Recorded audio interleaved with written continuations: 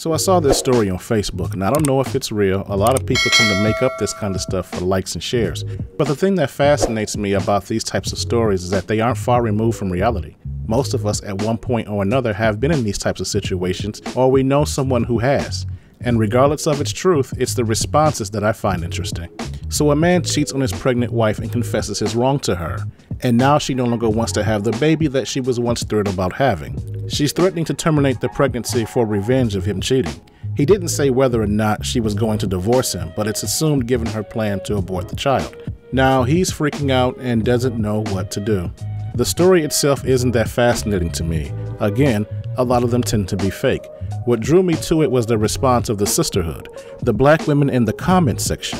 They were co signing the wife's reaction. They think exterminating a child in the womb is a just reward for infidelity. What?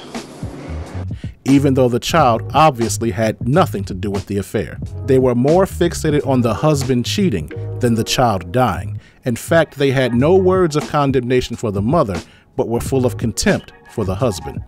Now, I don't think this is the mindset of all or even most black women.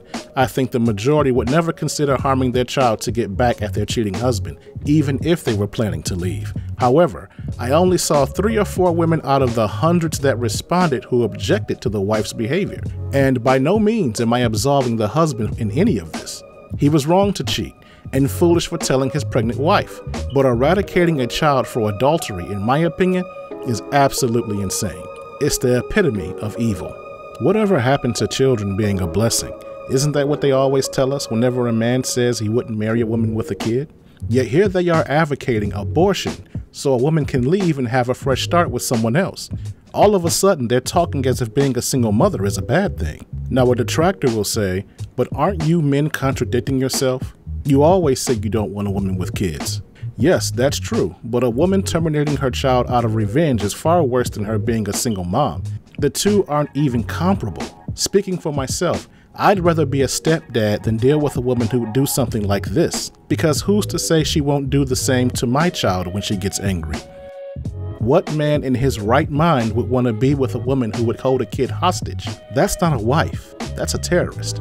And why is adoption not an option to any of these women in the comment section? If it's really about not wanting to be tied down with a baby and having a fresh start with someone else, why not give the child away to a loving family or surrender custodial rights to the dad? Why is death the only solution? Looking at these women's responses reminds me of something I've long believed. You should consider a woman's social circle before taking her as a wife. Be mindful of the women she calls friend and the female family members she hangs around, because those women will be the women she confides in or seeks out for advice when she's mad or frustrated with you. If she comes from a strong nuclear circle where her mom, grandma, sisters, aunties, and friends are all married or in a strong committed relationship, and she has a strong relationship with her father, and he's a stand up dude, she comes from good stock and will likely make for an ideal wife. But if there are no men in her family, and every woman she knows is or associates with is single, look out. You're dealing with a woman in a coven. Women who come from those type of social structures are a red flag because this is the kind of advice regarding men they're exposed to on a regular basis. A lot of you black men know what I'm talking about because a lot of us were born in these types of family structures. You have these types of women in your family, and you've seen the kind of advice they give to the younger women in the family. Tell me if any of this sounds familiar. A female family member starts to lose weight. She goes from a dress size 18 to a 12 and the big auntie Shirley comes over and says, Ooh, girl, you losing all this weight. Are you okay? You look skinny. Please don't tell me you doing this for a man. Because the man God has for you is gonna love you regardless of your size. Or how about this one? Ooh, girl, when you gonna cut that hair? It's getting too long. Ain't you tired of dealing with all that? Don't that take a lot of time to take care of? That's why I keep mine short. It's just hair. It'll grow back. Ain't nothing wrong with a wig or a weave if you want it to be longer. Don't be worried about what these dusties be saying. And don't let one of them get married and decide to cater to her husband in front of the rest of them, like fixing him a plate at the family function. Every single broad in the family will have a fit. Uh-uh, don't you be fixing his plate. That's a grown man. He can fix his own plate. You gonna make him lazy.